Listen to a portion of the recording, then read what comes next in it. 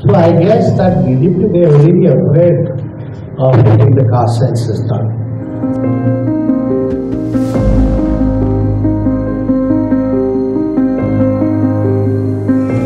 The caste census can be only done by the central government as per the constitution of India.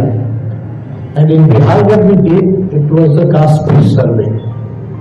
So I personally and even in my alliance, that uh, new alliance what we had formed, the India Alliance, had already been demanding continuously.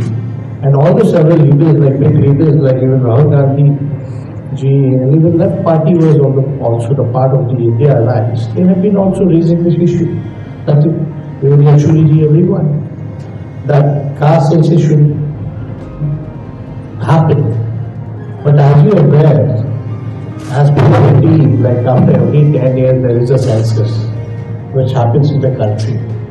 And still it is due. The due date was into 21, today is 23. So that is not happening. So I guess that BJP, they are really afraid of getting the caste census done. So still, whether inside the parliament, inside the house, assembly house, or outside on the road, we are in full support of caste census.